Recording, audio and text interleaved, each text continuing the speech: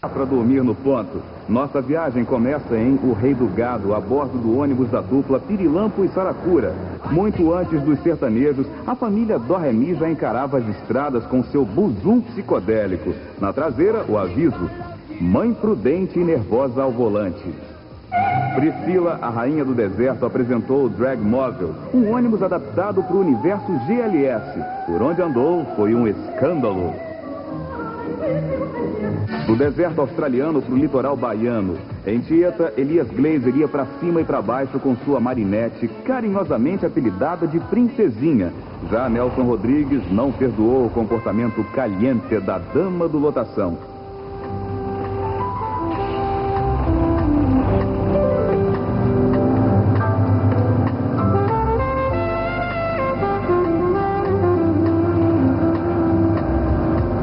A musa dos motoristas é Sandra Bullock. Dirigindo um ônibus com uma bomba relógio ligada, a moça acelerou tudo, atingindo a velocidade máxima. Parecia até o trânsito carioca. Só faltou voar, mas foi por pouco.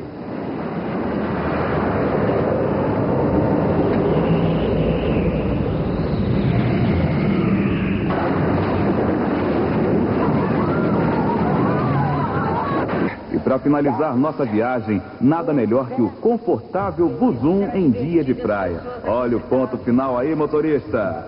É o único lugar onde todo mundo fica igual. Nós vivemos esse egoísmo, Carmen. Não podemos nos distanciar do povo. Hoje tem um cara aqui atrás com a mãozinha nem um pouco distanciada da minha bunda.